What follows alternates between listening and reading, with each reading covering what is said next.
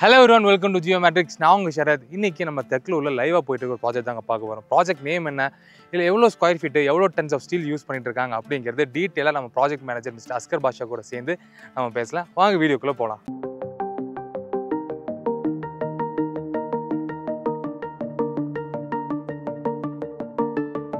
Welcome Asghar sir எப்படி இருக்கீங்க? Sir எப்படி இருக்கு நல்லா இருக்கு. ரொம்ப நாள் ஆச்சு நம்ம இணைஞ்சு. சொல்லுங்க சார் ஆக்சுவலாக ட்ரெடிஷ்னலாக எல்லாருமே சிவில்ல தான் போவாங்க. இப்போ கிரியன் மோட்டர்ஸ் ரெண்டு பேக் டு பேக் சைட்ஸ் நம்ம பண்ண போகிறோம் எப்படி அவங்க பிஇபி சூஸ் பண்ணாங்க சார் ஆக்சுவலாக பார்த்தீங்கன்னா பிஇபி ஏன் நம்ம சூஸ் பண்ணுன்னு ஒரு- ஒரு கான்செப்டை ஃபஸ்ட்டு டெவலப் பண்ணி ஆகணும் இந்த சைட்டை பார்த்தீங்கன்னா இப்போ ரன்னிங்கில் இருக்கிற சைட்டு எஸ் சார் கிட்டத்தட்ட நம்மளுக்கு ஆர்டர் வந்து ஒரு தேர்ட்டி டேஸ் தான் ஆயிருக்கும். ஸோ தேர்ட்டி டேஸில் இன்றைக்கி இருக்கிற கண்டிஷன் பார்த்தீங்கன்னா ஆல்மோஸ்ட் ஸ்கெல்டன் வந்து நம்ம ஃபினிஷ் பண்ண போகிறோம் இப்போ இன்னும் ஒரு ஒன் ஆர் டூ டேஸில் ஸ்கெல்டனே முடிய போகுது. ஓகே ஸோ இந்த ஃபாஸ்ட்டில் நீங்கள் பண்ணனீங்க அப்படின்னா பிவி தவிர வேறு எந்த மெத்தட்லையும் நாம் பண்ண முடியாது. ஏன் அப்படின்னா பிவி மட்டும்தான் one of the best and fastest method for the industrial construction for the warehouse இந்த ஆர்டர் வந்து நம்ம ஜிஏ சைன் ஆகி பண்ணுறதுக்குள்ளார சிவிலுக்கு நம்ம டிராயிங் கொடுத்து சிவில் முடிச்சிட்டாங்க. ஓகே ஸோ சிவில் முடிக்கிறதுக்குள்ளார நம்மளோட ஃபேப்ரிகேஷன் நம்ம நம்ம ஃபேக்ட்ரியில் முடிச்சுட்டு இங்கே கொண்டு வந்து அன்லோட் பண்ணி பெயிண்ட் பண்ணி எரெக்ஷன் பண்ணுறத பார்த்தீங்க அப்படின்னா வித்தின் ஒரு தேர்ட்டி டேஸில் ஸோ இந்த அளவு எரெக்ஷன் இருக்குது இப்போ இப்போ பார்த்தீங்க அப்படின்னா இந்த எரெக்ஷன் ஆக்டிவிட்டியோடது வந்து பார்த்தீங்கன்னா ஜஸ்ட் ஒரு செவன் டேஸோட ப்ராக்ரஸ் தான் இது. செவன் டேஸோட ப்ரோக்ரஸ் ஆமாம் செவன் டேஸ் ஸோ ஜஸ்ட் நீங்கள் திங்க் பண்ணி பாருங்க செவன் டேஸில் எவ்வளோ பெரிய ஸ்கெல்டன் நிற்குதுன்னா இப்போ பிவி வந்து எந்த அளவு ஃபாஸ்ட்டாக பண்ண முடியும்னு உங்களுக்கு இமேஜின் பண்ண முடியும். எஸ் சார் ரெண்டாவது வந்து பார்த்தீங்கன்னா ஸோ நம்ம இன்ஜினியரிங் வந்து டோட்டலாக ஆஃபீஸில் பண்ணிவிட்டு ஸோ அந்த இன்ஜினியரிங் ஏற்ற மாதிரி தான் நம்ம டிராயிங் ப்ரொடக்ஷன் பண்ணுறோம் ஸோ நம்ம ஃபேப்ரிகேஷன் வந்து கிரவுண்ட் லெவலில் பண்ணுறதுனால ஜீரோ டிஃபெக்டில் பண்ண முடியும் நம்மளால். சரிங்களா? மினிமம் டீவியேஷனில் ஜீரோ டிஃபெக்டில் பண்ண முடியும். ஸோ இந்த அட்வான்டேஜ் வந்து நம்ம சிவில் கன்ஸ்ட்ரக்ஷனில் ஆன் சைட்டில் போகும்போது கண்டிப்பாக இந்த ஜீரோ எரன்றது சான்ஸே கிடையாது. ஸோ நம்மளுக்கு வந்து fast and also the zero error அப்படின்றது ஸ்டீல் ஸ்ட்ரக்சரில் பிபிஓவில் மட்டும்தான் முடியும். மேபி நீங்கள் ஸ்டீல் ஸ்ட்ரக்சர்லேயே ஆன் சைட் ஃபேப்ரிகேஷன் போனீங்கன்னா இதே அக்யூரேஷன் நம்மளால் அச்சீவ் பண்ண முடியாது.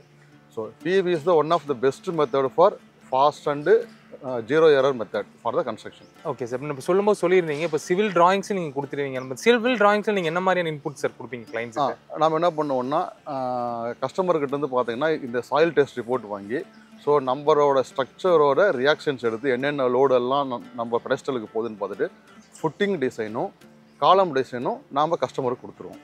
ஸோ பேஸ்ட் ஆன் த நம்ம ஜியோமெட்ரிக்ஸோட ஃபுட்டிங் டிசைனும் காலம் டிசைனும் வச்சு அவங்க சிவில் பண்ணித்தரலாம் ஸோ இதில் பார்த்தீங்கன்னா இதில் அட்வான்டேஜ் நம்மளோட பார்த்தீங்கன்னா நாம் ஓனாக சிவில் ட்ராயிங் அதனால நம்மளோட ஸ்ட்ரக்சருக்கு ஏற்ற மாதிரியே நாம் டிசைன் பண்ணி கொடுத்துட்றோம் ஸோ இது ஒரு பெரிய advantages for the geometry so மற்ற காம்படிட்டர் பார்த்தீங்கன்னா மோஸ்ட்லி சிவில் டிராயிங் கொடுக்க மாட்டாங்க.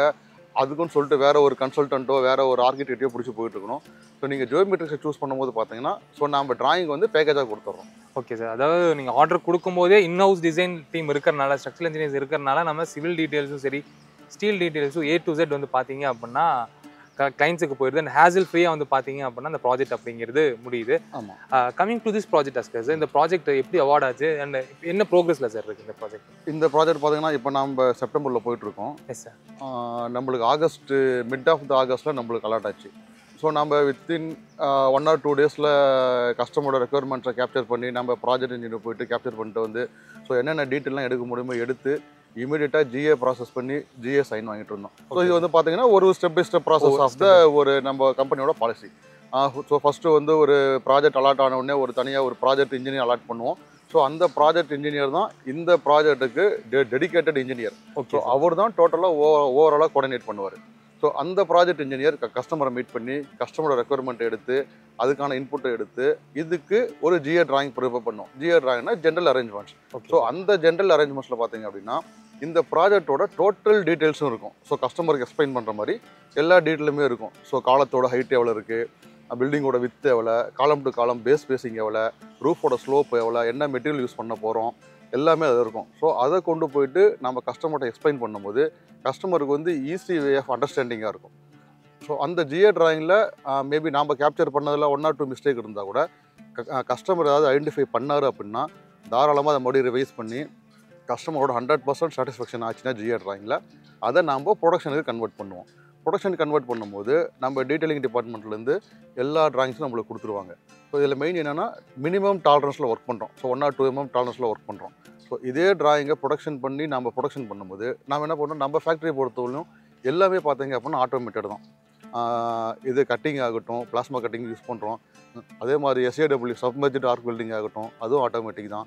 ஸோ இது மாதிரி பண்ணும்போது நம்மளோட குவாலிட்டி ஸ்டாண்டர்டு வந்து ஹையராக இருக்குது அதுவும் இல்லாமல் நாம் இங்கே கிரவுண்ட் லெவலில் ஃபேப்ரிகேஷன் பண்ணும்போது ஸோ எந்த ப்ராப்ளம் இருந்தாலும் இங்கேயே சார்ட் அவுட் பண்ணி ஜீரோ டிஃபெக்டில் அங்கேருந்து ட்ரான்ஸ்போர்ட் பண்ணுறோம் ஸோ இது எல்லாமே பார்த்தீங்கன்னா வித்தின் ஒரு ஃபோர் டு ஃபைவ் வீக்ஸில் முடித்தோம் டோட்டல் ஃபேப்ரிகேஷன் அந்த ஃபோர் டு ஃபைவ் வீக்ஸோட டைமிங்கில் இந்த பில்டிங்கோட சிவில் ஒர்க்கு முடிச்சு கொடுத்தாங்க கஸ்டமர் சைட்லேருந்து ஓகே ஸோ இதில் நம்பர் ஸ்கோப் என்ன வருதுன்னா இந்த சை பர்டிகுலர் சைட்டில் இல்லை எல்லா சைட்லையுமே ninety nine percent anchor bolt fixing வந்து நம்ம ஸ்கோப்பில் வருது.